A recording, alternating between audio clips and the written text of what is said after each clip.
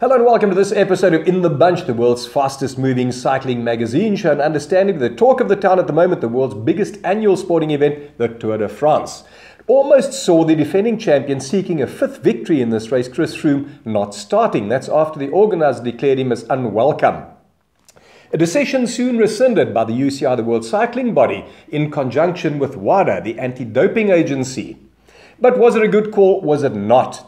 Spoke to Ross Tucker, a renowned sports scientist, and got his thoughts on this one, in which he feels it certainly hasn't left the sport or the UCI or WADA in great esteem afterwards.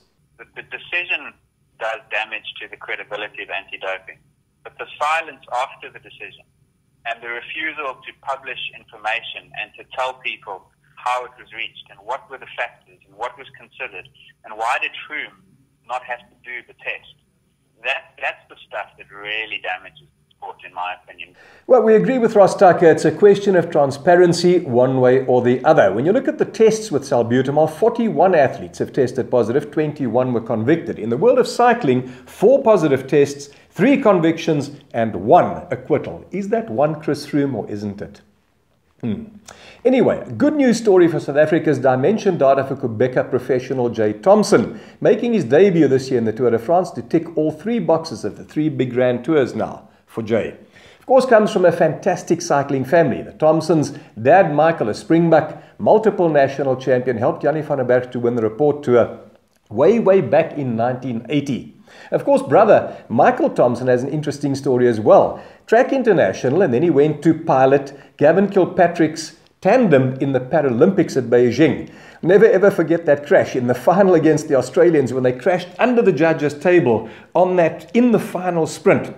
Wonderful effort there to still get the bronze medal at Beijing. So, Jay Thomson, imagine being selected just 10 days before the actual start of the Tour de France.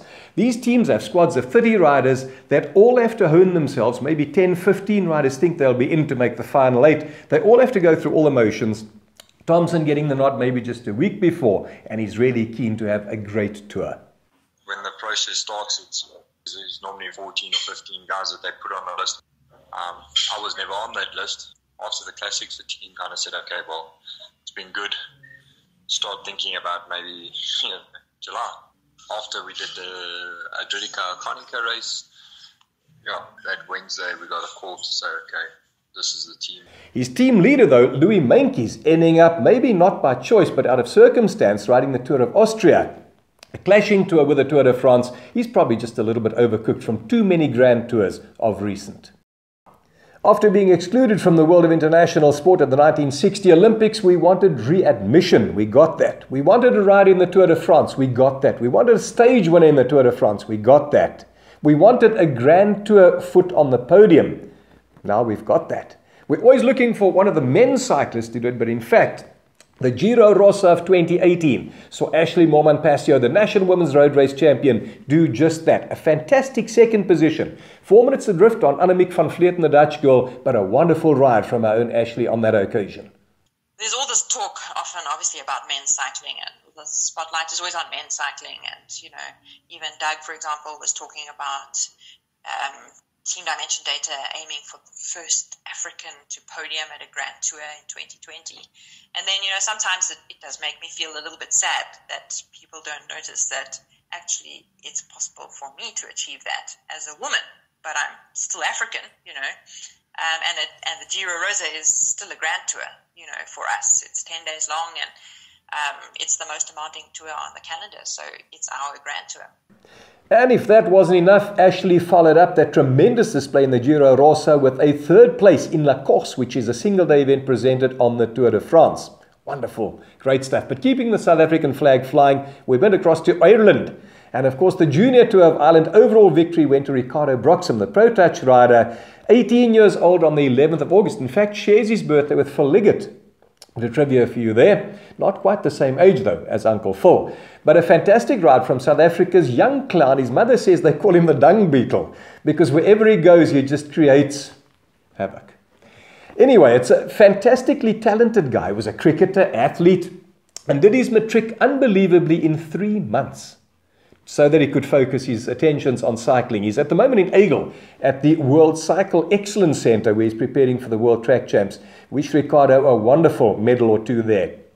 Campaigning in Maniago, Italy, en route to the World Championships, there is Goldy Fuchs, 26 year old South African paracyclist. In fact, a man in 2016 winning the World Cup Series in the T2 class. He's got five medals at world level and tragically is traveling at his own expense. The most ridiculous part of that whole campaign, in fact, the appeals on social media for accommodation and meals for Goldy Fuchs. How can anybody expect any athlete to perform at his very best when he doesn't know where his next meal's coming from? It's completely ridiculous. We spoke to Yster Xatasi, the uh, acting president of Cycling South Africa, after William Newman walked out in February this year and Yster was quite adamant that the Federation needs to go along the transformation route, which is a very good cause, and that certainly has to happen. But they must have more than just one fish to fry, and certainly the fiscal fish here seems to be the one most needed to sort out at the moment. Xatasi feels that we need to appeal to corporate South Africa to support both SASCOC and Cycling South Africa Wonderful cause, and that would be a normal expectation. But what is the return on investment? What can we give them for supporting our sport?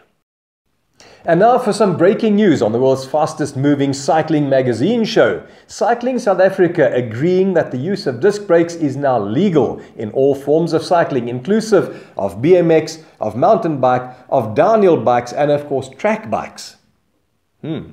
Maybe we disc pulling your brakes on the last one. Disregard that part. But we're eager to establish the whereabouts of this person, last seen leading the Knysna Oyster Festival mountain bike race. That was until the 15 kilometer marker when she completely went off the map and slipped right out of the results right to the end of the event, leaving Robyn de Groot, the South African mountain bike champion, to beat Candice Lill into second wheel. Gert Heyns was the men's winner of the marathon on the mountain bike side well, in the road race, the honours there went to Chris Jooste and Anriette Schoeman winning that Oyster Festival road version for the many, manyth time.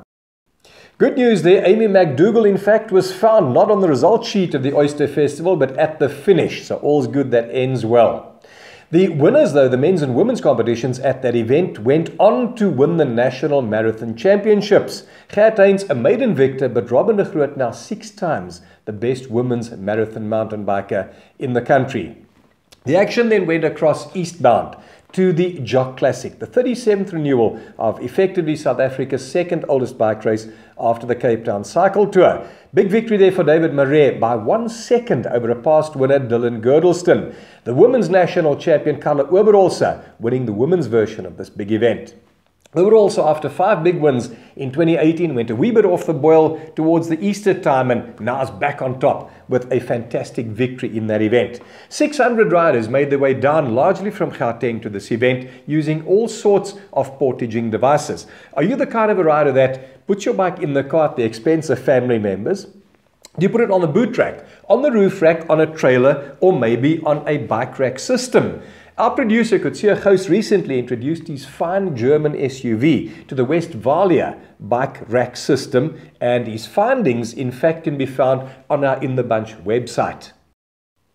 Not towing the line at all, the person who put up a neck high wire in the glen on one of Cape Town's most popular mountain bike routes, almost decapitating the rider through that crazy, stupid act that was performed. Was this done out of sabotage? Maybe other users of the Glen who don't want cyclists there? Was it robbery that precipitated a move like this? What is the malice? What form of malice would be would bring about an act as stupid as this? Now, getting just about to the wire. In this week's show, a fantastic story about Wimpy Sanders. The race of a thousand miler, it was 1500 kilometers all the way from up north down to the fairest cape of them all, took this rider five days, seven hours and 18 minutes, with little bits of sleep in between that period, of course, just to try and rejuvenate. Now, one of the Wimpies saw a burning bush somewhere in the Karoo. Not only Moses did that, but on closer examination, he went and looked at was fireflies in a bush. Wonderful sight for him. He got so tired that he even saw a shooting star, which he ducked for, believe that or not. Well, from shooting stars in the middle of the Karoo to what's starring on inthebunch.co.za in the bronze medal position, the South African National Marathon Mountain Bike Championship. In the silver slot, though, not a story on this week's show, but huge on the website. Kevin Evans beating his addiction to become a new Kevin Evans. Understandably, right atop the podium, Chris Froome just about not in the Tour de France to defend his title. If you've enjoyed the show as much as what we've done doing it for you, don't forget to subscribe to the show and to tap the bell never to miss another episode. Johnny Kun, on behalf of Kutsia Host, the entire In the Bunch team saying, I'm off now to read the review on those bike racks before I make a beeline. But until then, it's ciao ciao.